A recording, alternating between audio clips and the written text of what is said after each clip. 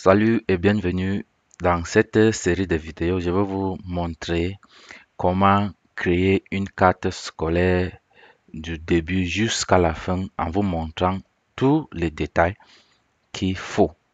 Maintenant, euh, pour le faire, j'ai créé un dossier. Voici le dossier. Et dans ce dossier, tout ce que j'ai besoin, je vais ouvrir le dossier. Le dossier, dans ce dossier, tout ce que j'ai besoin pour créer les cartes scolaires est dedans. Par exemple, ici, dans ce premier dossier, nous avons donc les photos des élèves. Bon, nous allons faire les cartes pour 10 élèves. Nous avons 4 filles et 6 garçons.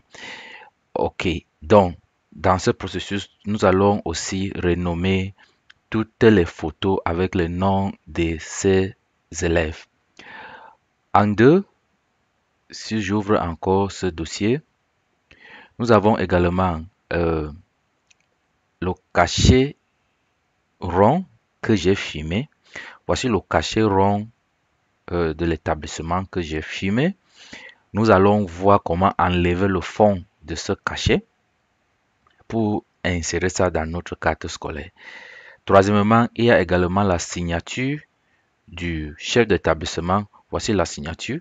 Nous allons également procéder à euh, enlever le fond de la signature. Donc cette signature a été signée sur un papier. Vous pouvez voir.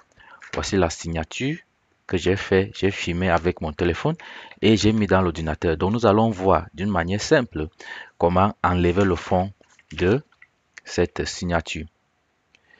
Et ici, nous avons juste un fond ça sera comme le design de notre carte scolaire. Nous allons insérer là-bas. Et lorsque nous, nous serons à la fin, voici quelque, quelque sorte ce que nous allons produire. Ça, c'est une carte scolaire que j'ai produite pour l'établissement. Nous allons donc essayer de faire quelque chose similaire. OK. Donc, ici, je vous ai présenté en grosso modo ce que nous allons Donc, dans la prochaine vidéo, nous allons donc commencer à insérer les détails de chaque élève pour pouvoir donc utiliser ces informations pour produire la carte scolaire. Donc, rendez-vous dans la prochaine vidéo.